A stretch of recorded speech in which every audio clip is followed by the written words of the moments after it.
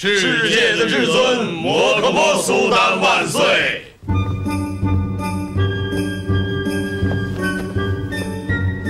向一切美德和真理的化身，世界上最伟大的母亲——图尔汉太后致敬。到我身边来吧。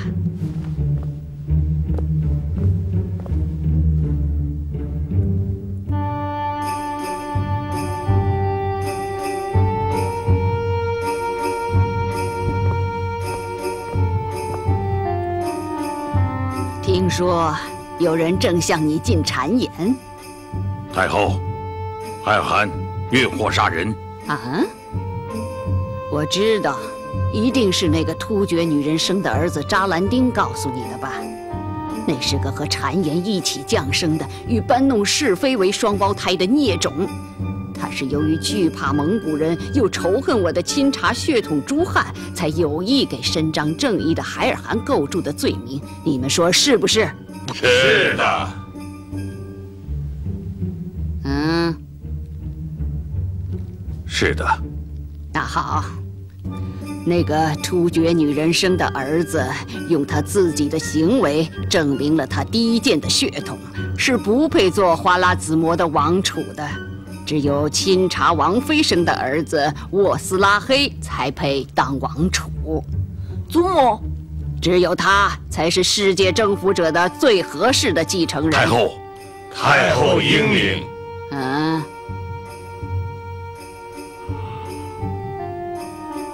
嗯，很好，你记住，只有钦察的朱韩才能够帮助你去征服东方的异教徒，去准备打仗吧。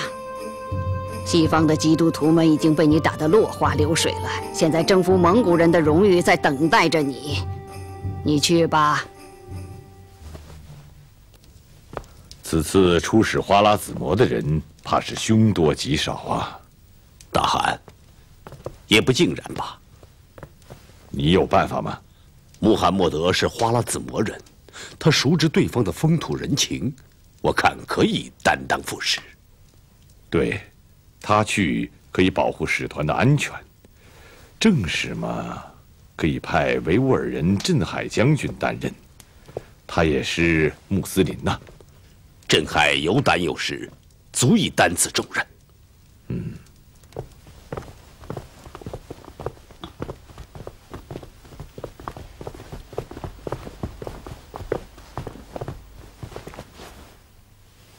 大蒙古使臣，真正的穆斯林镇海拜见花剌子模苏丹陛下。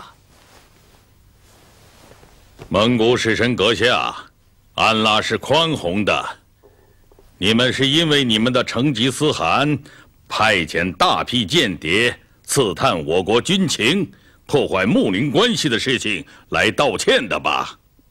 苏丹陛下知道东方古老的中国有句非常有意思的成语吗？什么成语？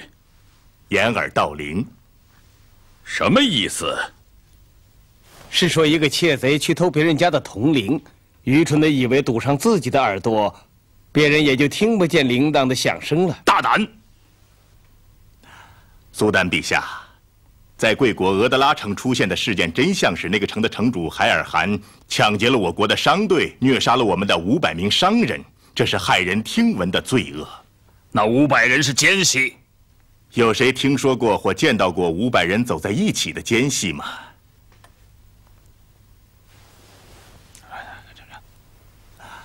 你就是那个杀人越货、图财害命的海尔汗了。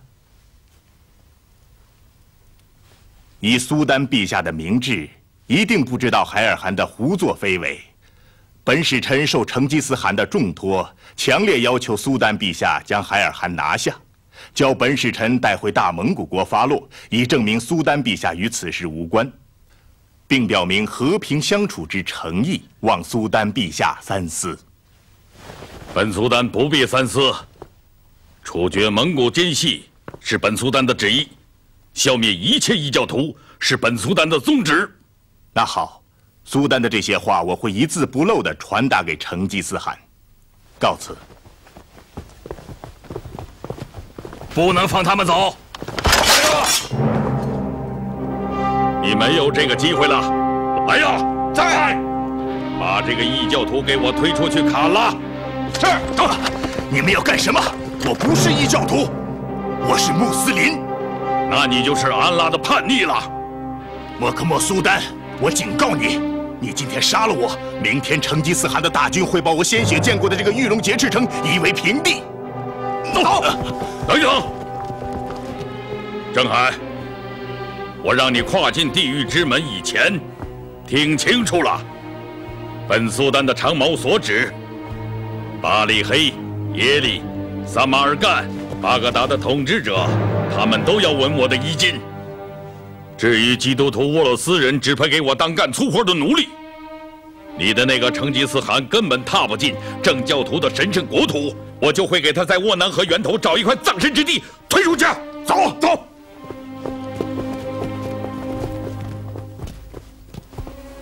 苏丹陛下，还有两个留着干什么？我自有我的道理，把他们押进地牢去。走走走。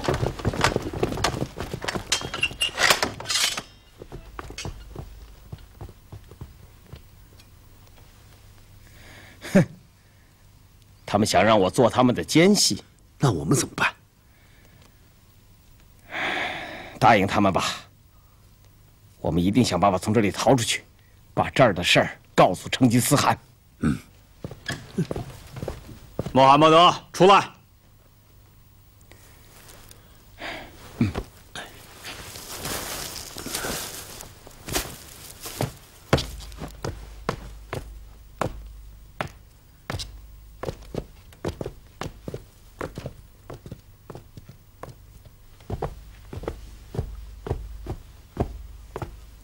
你跟那个穆罕默德谈过了？谈过了，他同意做我们的间谍了。伟大的苏丹的意志可以征服任何人的灵魂。好，叫他过来，快点儿！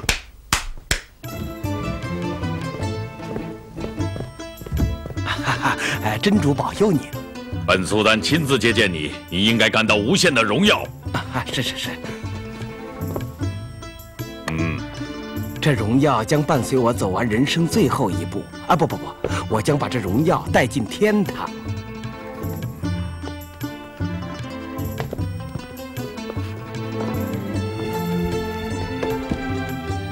你是花剌子模人吗？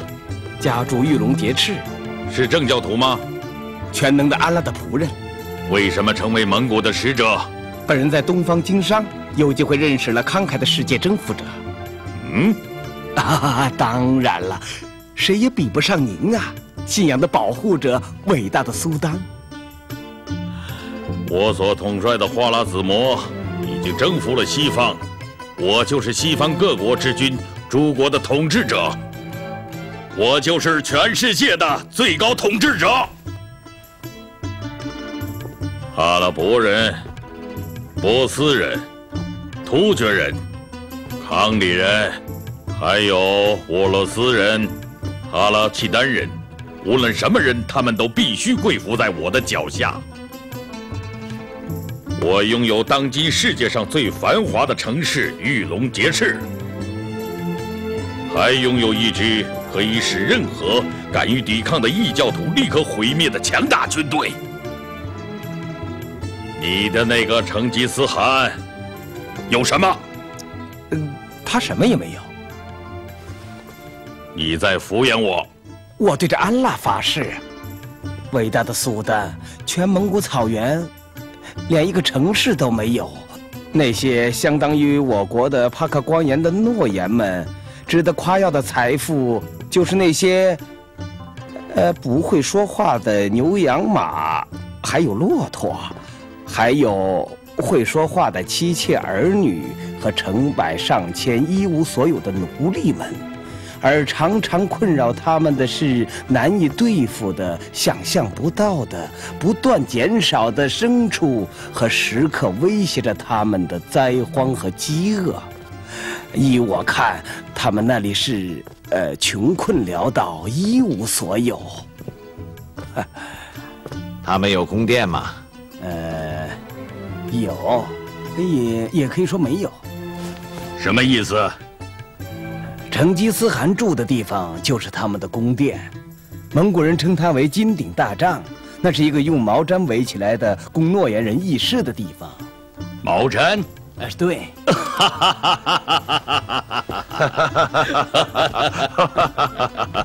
真是太愚蠢了，全不知道世界上还有用金砖碧瓦建成的宫殿，真正的宫殿。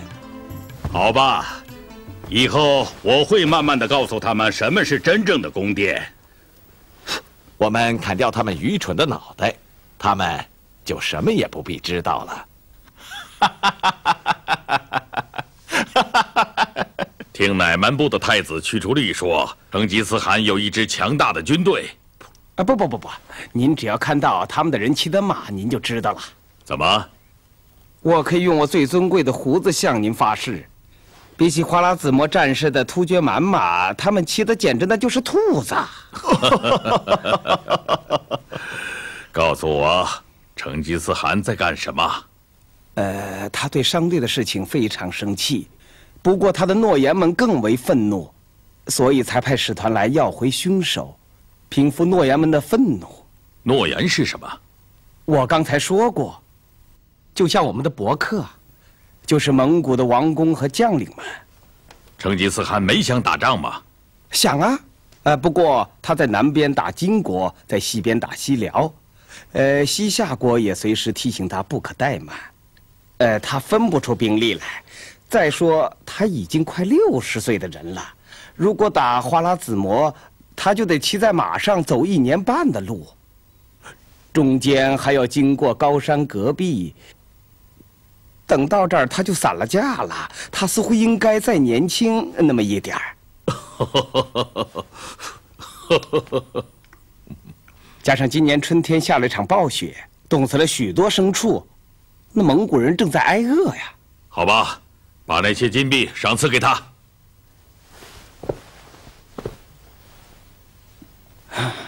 那是一百个金巴力士，啊，安拉呀，这么多的赏赐，啊，伟大的苏丹，安拉的庇护永远不会离开您的。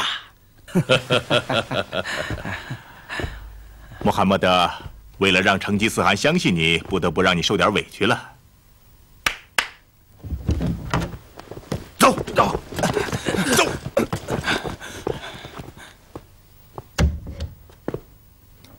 烧掉他们的胡子！啊！你们要干什么？你们到底要干什么？放开我！海尔汗，你到底要干什么？你想干什么？你放开我！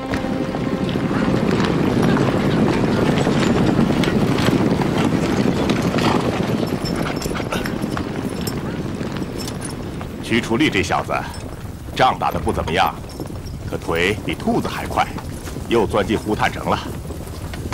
我们已经离开家乡快两年了，要啃下这块骨头，少说还得半年。不知道又有多少人回不去家了。未必如此啊。嗯。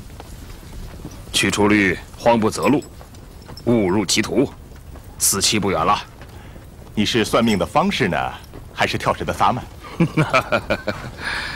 驱除律逼着这个城里的伊斯兰教徒改信驱除律信奉的景教。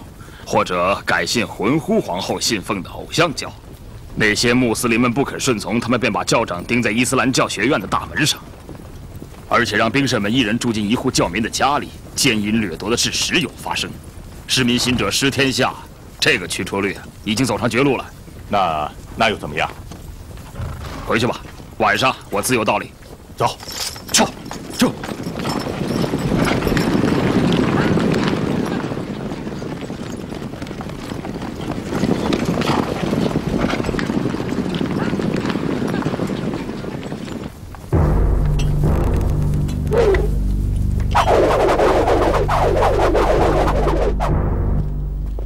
成吉思汗的国家里，有讲七种语言的臣民，有信六种宗教的百姓。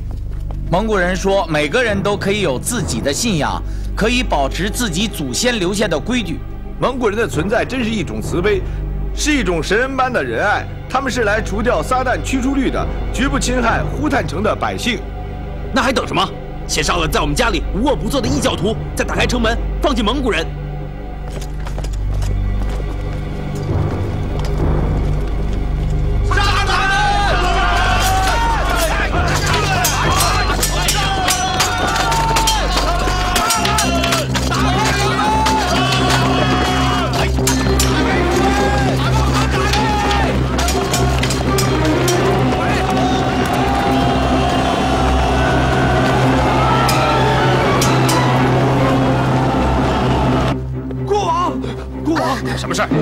杀进城来了！什么？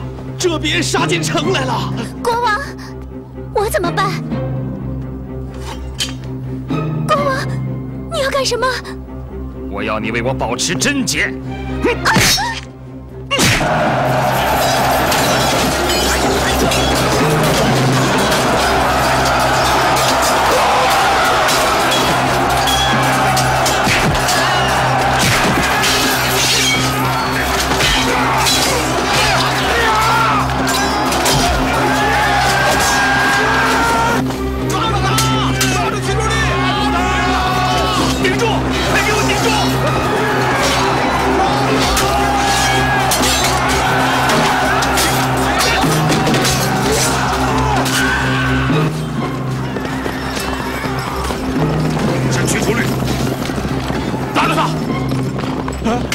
哎哎哎！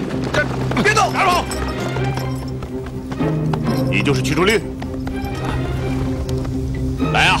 哎，把他的腿给我剁了！是。慢着，把他交给胡坦城的百姓们处置吧。快走！走！哎！打！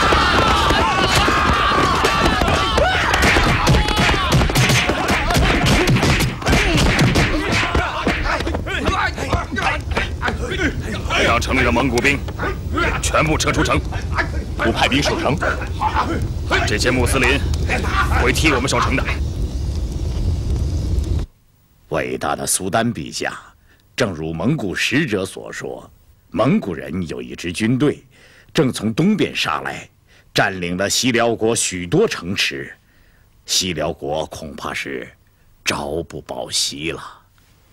苏丹陛下，唇亡则齿寒，我们不应该坐视不救。难道你忘了上次驱除力被蒙的事了吗？对于这种小人，我们现在还有必要伸出救援之手吗？不，绝不。可是从另一方面考虑，我们倒是不该袖手旁观。嗯，西辽这只羔羊不应当让蒙古人吞下去的，应该全部归花剌子模所有。嗯，我还听说取出律强迫国内的伊斯兰教民改变信仰，作为宗教的保护者。我不能不管，而且为了让所有的穆斯林知道，我是唯一的信仰保护者，这次我要亲自带兵出征，攻打西辽国。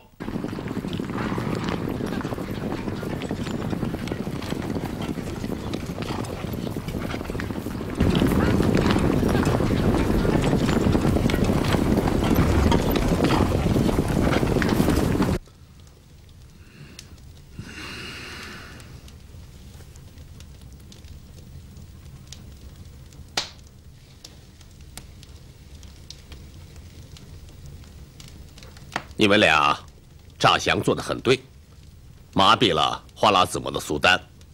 可是他们烧了我们两个人的胡子，胡子是我们穆斯林权利的象征，他们烧了我们的胡子，就等于剥夺了我们生存的权利呀！穆罕默德，你们是为了我才遭受这种奇耻大辱的，你们的每一根胡子，我都将要花剌子模的伯克们拿性命来偿还的。先去休息吧。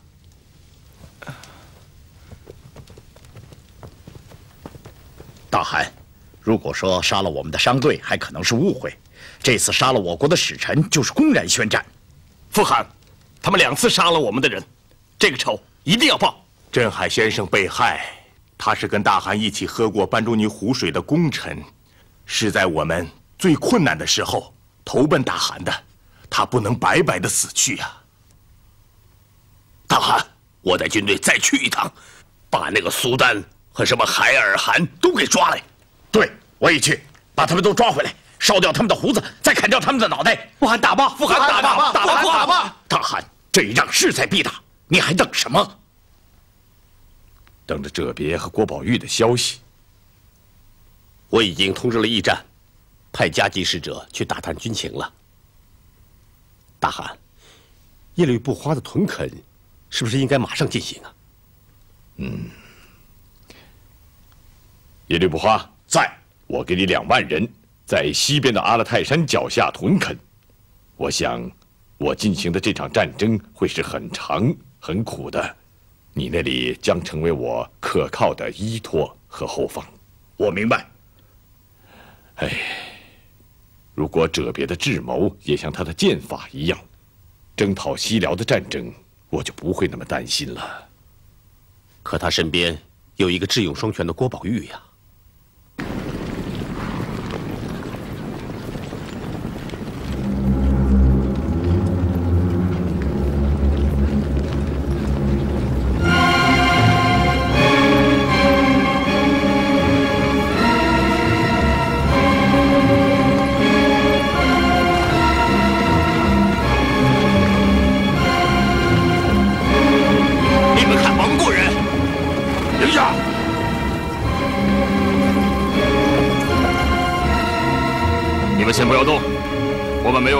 子墨宣战。我先去问问他们的来意。走。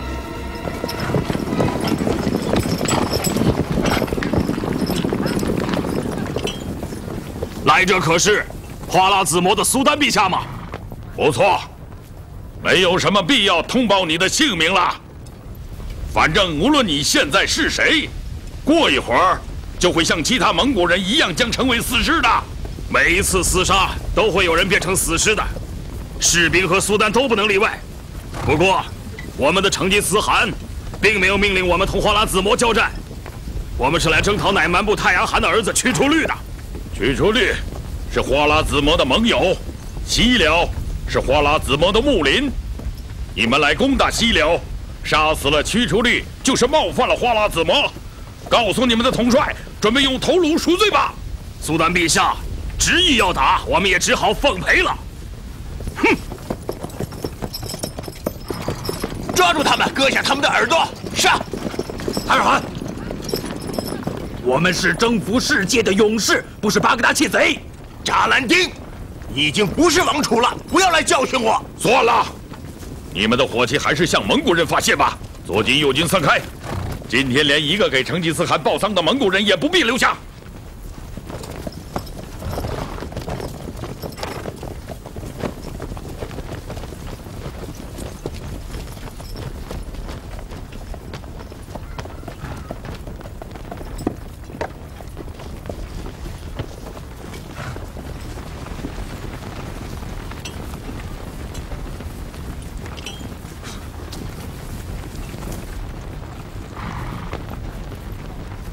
可以开始了，啊！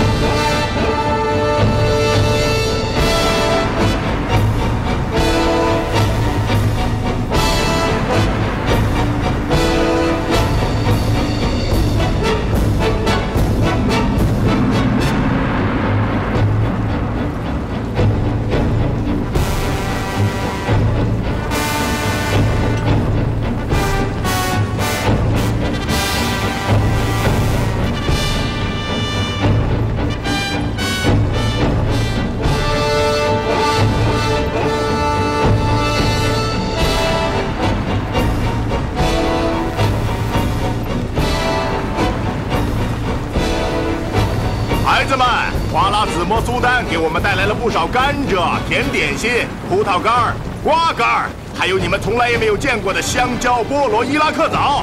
走吧，开开眼，去尝一尝吧。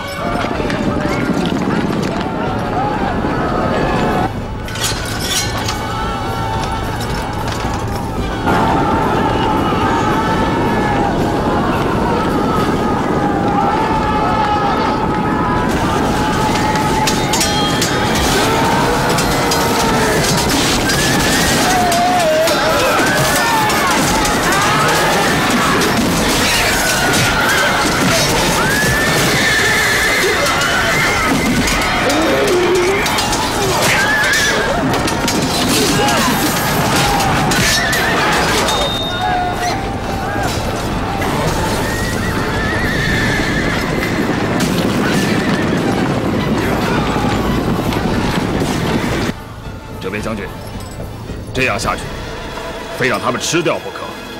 这些高鼻子的人挺难对付，郭将军怎么办？用成吉思汗的掏心法，先攻打他们的两翼，等中间撕开口子，直取他们中军。好办法，孩子们，给我上！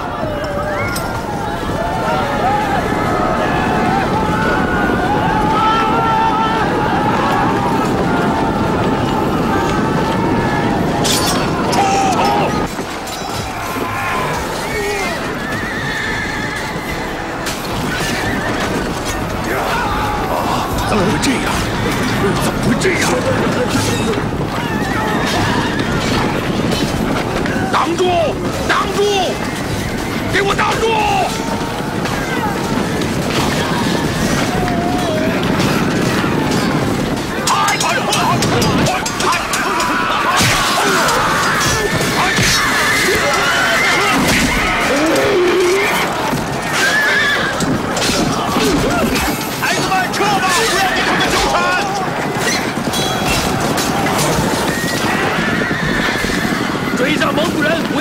跑掉！别追了，他们是狡猾的异教徒，等后续部队上来再教训他们吧。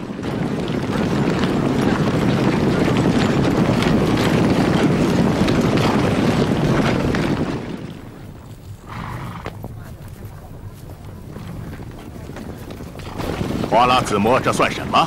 回去禀告成吉思汗吧。等成吉思汗发令让我打回来的时候，我一定要活捉那个爱吃甜食的骄傲的公山羊麦克莫苏丹。对，撤，撤。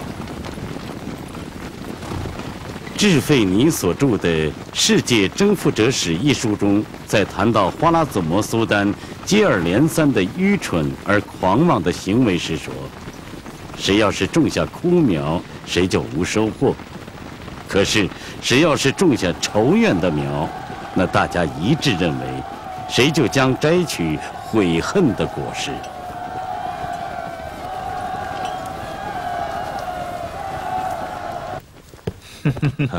这么说，驱除率确实是死了啊！这会儿大概连尸首都被野狼吃光了。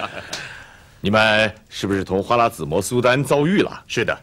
哈，来，上面坐。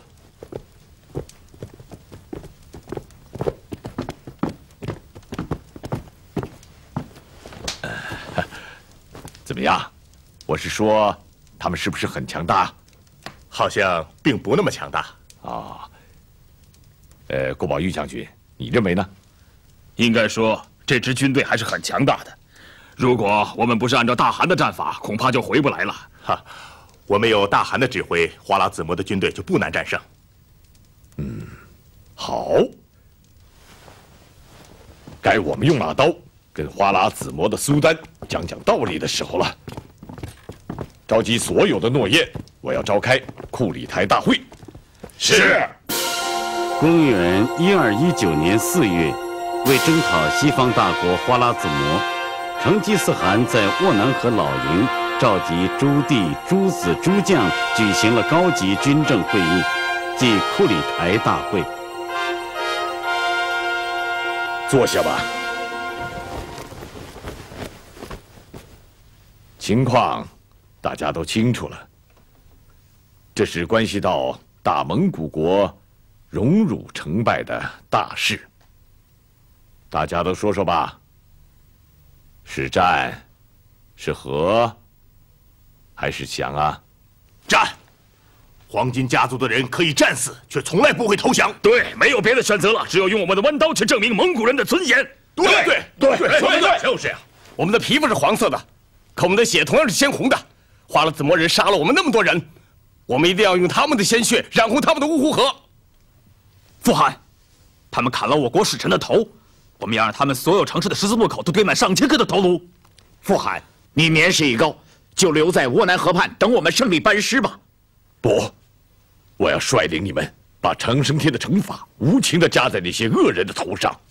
成吉思汗，好，四弟帖木格，三公主阿拉赫别姬，韩兄，你们二人为大蒙古国监国，在我西征期间，留给你们三千户人马镇守草原，保护乌尔朵。是。朱棣、朱子直、朱万户、千户随我西征。呼兰妃从军而行，抚慰军队，并照顾我的起居。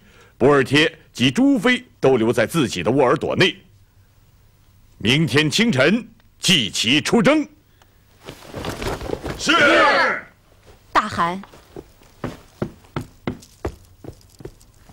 大汗，臣妾有话要说。啊，都坐下。你站起来，有话请讲。大汗，但凡有生命之物，都不能久生长存。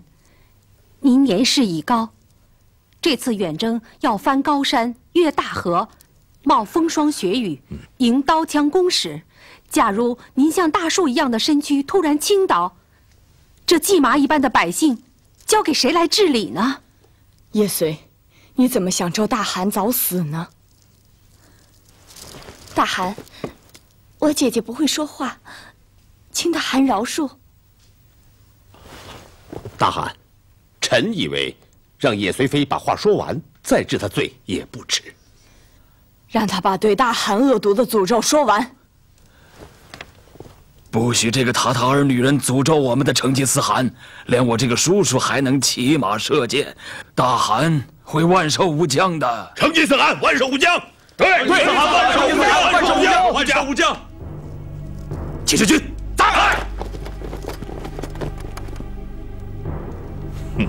有长生天的气力在我身上运行，我难道还怕一个女人诅咒我吗？叶随，你说吧。大汗，臣妾以为，任何人都不会长生不老，只有长生天才能长生。大汗就是长生不老。对对，成吉思汗长生不老，没错。大汗，您这次以花甲之年远征数载，不可不为后世着想啊！您应该在临行之前，在您的儿子之中确定一个继承人，也好让诸位子弟、全体百姓。和我们这些贱婢们，都能够了解您的旨意。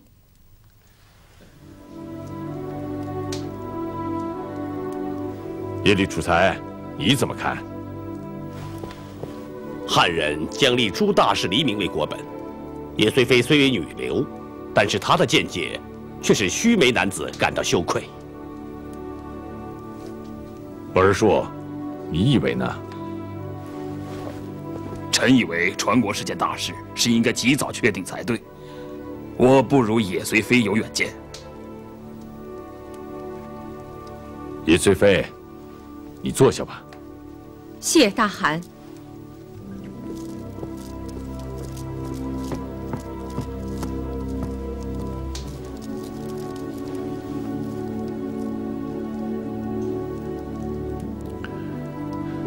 也许叶随妃说的是实话。这说不上是诅咒，我但愿自己能长生不老。可是我的头发，还是白了。我不知道会不会真的倒在西征的路上。哭什么？死在马上是蒙古巴特尔的荣耀吗？至于传国嘛，因为我不是继承先人手里的汗位。而是自己打出的天下，所以把这件事情给疏忽了。大汗，臣妾以为也随姐姐的意思也是有道理的。不过传国是件大事，必须传给战功卓著的嫡生亲子。我的儿子太小，又没有经过战争，所以臣妾以为应该在国后博尔帖的四个杰出儿子中。选出大汗国的继承人。好，准奏。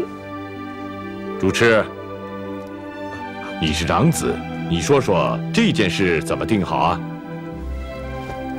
父汗，父汗，你让朱赤先说，是不是要把天下委托给这个密尔切人那里捡来的野种？你，你说什么？我从来都没有听到父汗对我有什么异言，父母都没有对我另眼相看，你凭什么说我是密尔奇人那里捡来的野种？有个亲眼见过你出生的人对我讲的，谁？我用不着告诉你，那你就是胡说八道。我在老营见过一个脸上有刀疤的人，那个人就是你的亲生父亲。察合台，你给我住口！我不准你胡说。常台，你要为你刚才的话付出代价，那就来吧，我还怕你吗？有什么本事？比比力气，你能战胜我吗？我不跟你比力气，那咱们就比剑法。我干嘛要同你比剑法？那咱们俩就决斗，谁输了就躺在地上，永远不要起来。我不跟你这个没有资格的密尔西人决斗。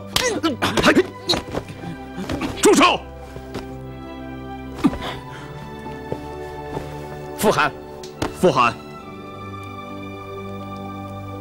谁告诉察合台说朱赤是米尔契人的儿子？嗯，谁知道？说出来！我知道，是扎木和阿勒坦所审理的堂兄胡查尔告诉察合台的。察合台，是吗？是。胡查尔是恨你父亲不死的豺狼，我悔恨没有早一点割下他散布毒眼的舌头。察合台王爷，我折了灭速不台。忽必来投奔你父亲的时候，你们家连喘气的养狗算在内，有生命的不足几百这个数目。我们都曾亲眼目睹了那场至今想起来都不寒而栗的变故。是的，李贤明的母亲是被人掠走过，是那场可恶的战争造成的无可奈何的不幸。朝代王爷，你怎么可以轻信仇人的谣言，信口开河？这怎么能对得起你慈爱善良的母亲呢？主持王爷出生那天。我就在大汗身边，我听到过扎木合对朱赤王爷血统的第一次捕风捉影的胡说。你想一想看，凡是仇恨大汗的人都希望大汗怀疑朱赤的身份，你怎么还能相信这些呢？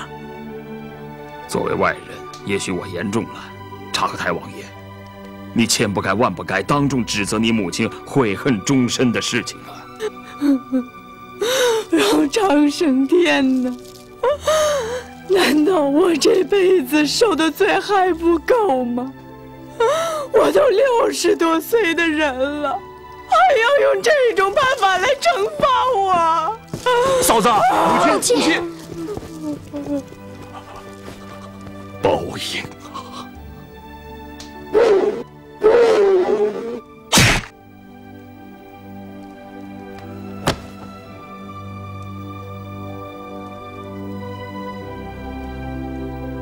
傅寒，儿臣知错，儿臣错了。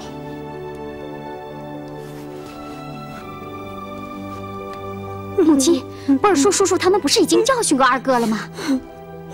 阿乐和别急，我想死。母亲，快别说傻话了。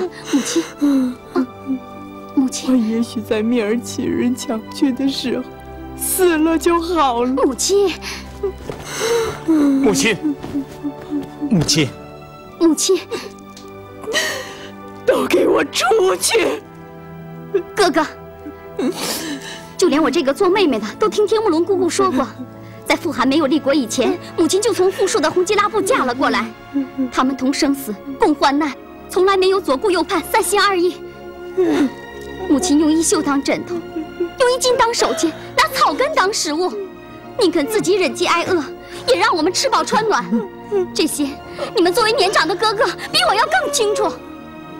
那为什么还要伤母亲的心呢？母亲，您别伤心了，是儿子错了。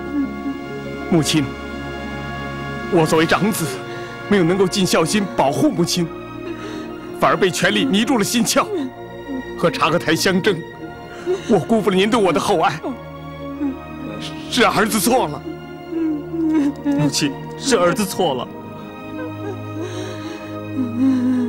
母亲，你要是实在气不顺，你就打我们吧。母亲，求求您别哭了。母亲，哥哥们知错了，您就宽恕他们吧啊！从今以后，你们能不能不要自相争斗，行吗？行行，母亲。好了，去找你们的父汗，认个错吧。是是，母亲。